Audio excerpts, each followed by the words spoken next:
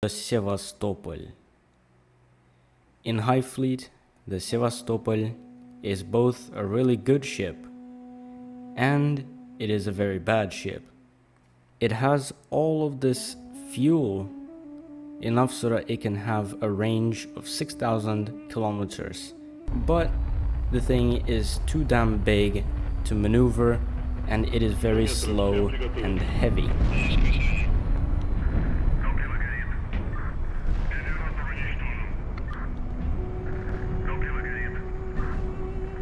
The Sevastopol has all of the guns, missiles, and armor to protect itself.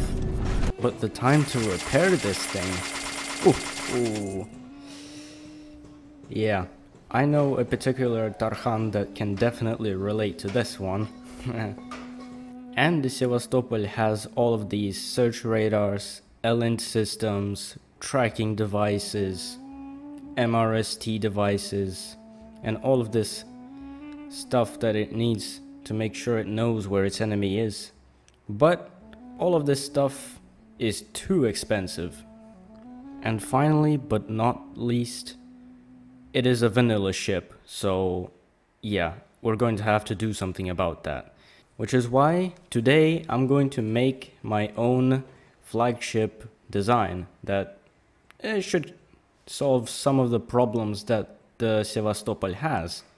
And so, my fellow Tarkhans, I'm Kaptain Beans, and I'm going to show you my flagship design, which is meant to be cheaper, faster, have more range, and also just not a vanilla ship.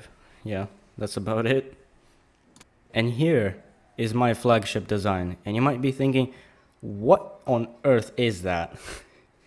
and let me just show you. So this ship, I like to call it the Fastopol because it's one of its main features is that it is a tad bit faster than the Sevastopol and it has a range of 10,000 kilometers. And also, this thing costs exactly 60,000 gold coins, which is actually roughly about half of the Sevastopol cost, which makes this thing better in terms of cost. Now this thing has all of the sensors that it needs to detect anything and everything. And so you can see here up top, I have a MR700 radar, which is working full to the full extent, along with a jammer to jam any cruise missiles that are incoming.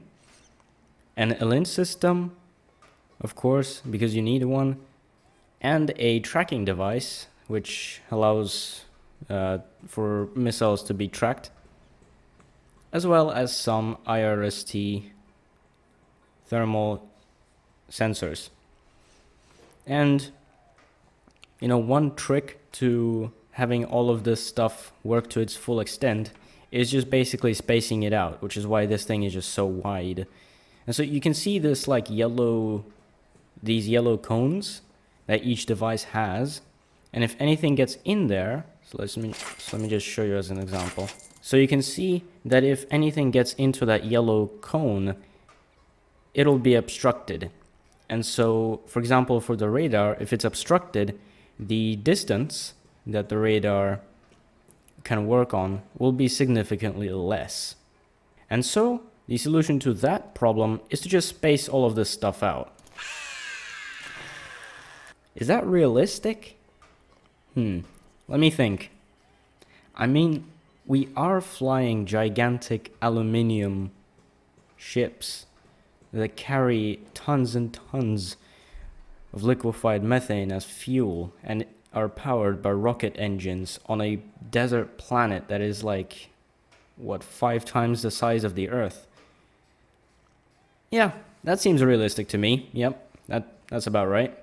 And of course, the biggest feature of this ship is the gigantic fuel tank that you can see here, which allows it to travel 10,000 kilometers maximum, which is basically like halfway to Khiva if, if you actually measure it.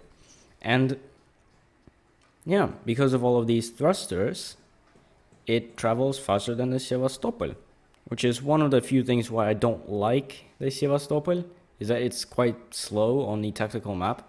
Now, this is not so much faster, which is why I decided to name this thing the Fastopol and not Speedopol. You know what I mean? So, this is only a tad bit faster than the Sevastopol, but the biggest advantage to the Sevastopol is that this thing has a much larger range. And so, yeah. And this thing is also cheaper than the Sevastopol. So, yeah, that's very nice. Now, of course, I'm not saying this is the best flagship design that ever in HighFleet. I'm just saying that this is my design and I kind of like it. Now, this design does not have any sort of weapons or any sort of guns, missiles, or anything like that, because those things are expensive, of course. And that's actually kind of the whole beauty of this design. This thing is not meant to go into direct combat and is not meant to face cruise missiles. Now this thing does not have any armor, which makes this thing extremely vulnerable to fire, which, I mean, that's true. The Sevastopol can survive quite a beating. This thing cannot. But that's actually not such a bad thing, because if this thing faces a cruise missile or an airstrike, and this quite exposed bridge gets destroyed, Let's just say that you don't have to worry about repair time on this thing anymore. now, this is not the only version of this design that, that I actually have. I also have several other designs, but this is this would be my should I say final or my final design.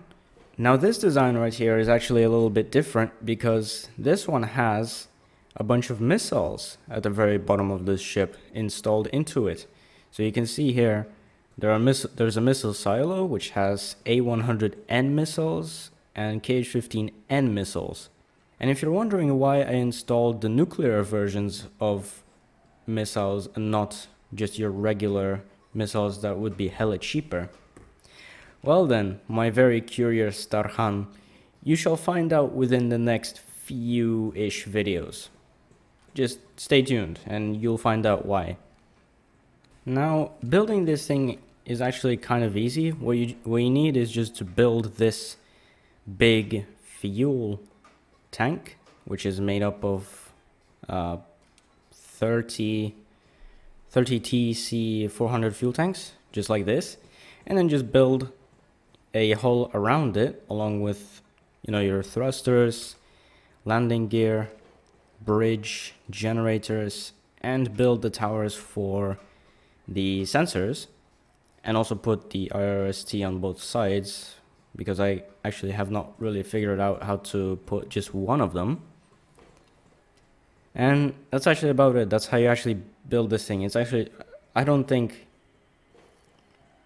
it's very hard to figure out how to build it. But what is hard to figure out is how to make this thing into a flagship. Let me explain to you what I mean by that. So, you can see right here, we have the Sevastopol in the ship selection menu already put into the fleet automatically. Now notice how next to the name it has a little star on it. That means that this ship is a flagship. And whenever you assemble a fleet, you actually have to have at least one flagship in order to start the campaign. But um, you can see all of my designs here, they do not have the star on them. And not even my missile carrying Fastopol has the star on it. And so I'm going to show you how to put that star onto the name of the ship, which would make it the flagship.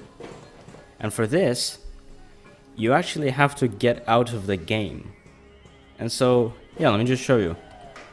Okay, so in order to make a ship a flagship, you need to get into the game files, which you exit the game, and then you need to head into um, Steam, wherever it is on your PC, then head into the folder Steam Apps, and then into the folder Common, and then find the Highfleet folder, which when you open this, it should look something like this right here.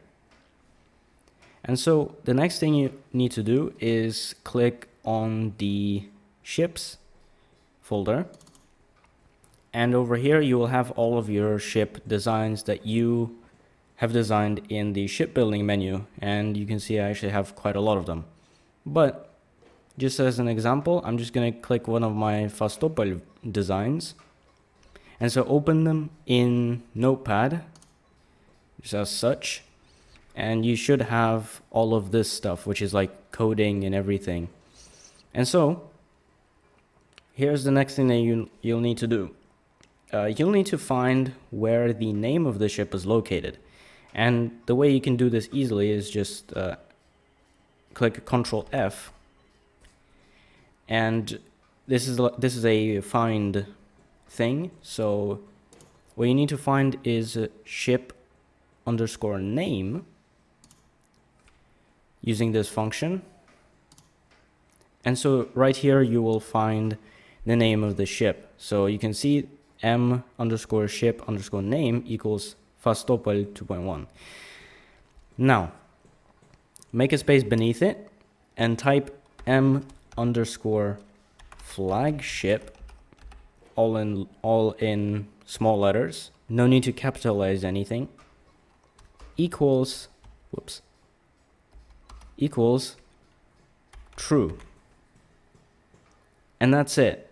That's all you need to do. And then, of course, save the file. And that is it. That's all you need to do to make your ship a flagship. And so once you've done that, just go back into the ship selecting menu and your ship design should have the star icon and should be a flagship. And so yeah, that's it. That's how you make your ship a flagship. And uh, yeah, thank you for watching. If you enjoyed this, comment. And that's it, my fellow Tarkhans. Thank you for watching.